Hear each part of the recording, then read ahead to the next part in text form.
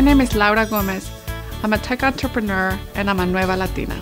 I've been fortunate enough to work with a lot of key players that are pushing the envelope on innovation and technology. Most of my experience in technology has been around what's known as localization, where language and culture meet technology. Um, at Twitter, I became a team lead and in charge of everything that was Twitter in Espanol. So, you know, from business development, product, media partnerships, eventually head of localization, which means making Twitter available in other languages and other markets. When Twitter in Espanol grew really fast, they were like, whoa, why don't you do this for other languages and for other markets?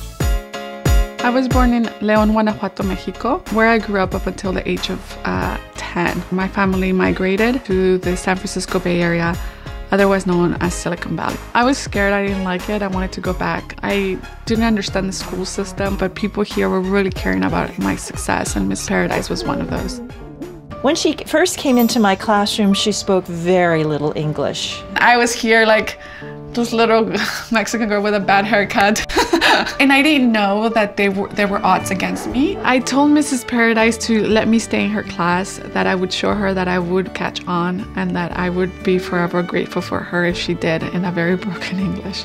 Who you are and who you were as a child was undeniable. She made me feel like I could achieve anything. Thank you so much. I mean, for supporting me as a child and even now. Thank you from the bottom of my heart.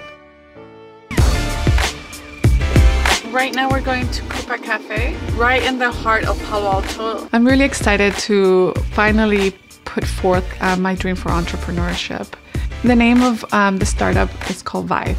We're thinking anything from citizen journalist to blog. I feel deep in my heart that this is something that will change the world. I'm no longer going to be around the glass ceilings. Nueva Latinas don't negotiate. We don't choose one thing over the other. I am a Latina and I am proud. I'm an immigrant and I am proud but I am also an entrepreneur. I have worked hard and I deserve to be where I'm at.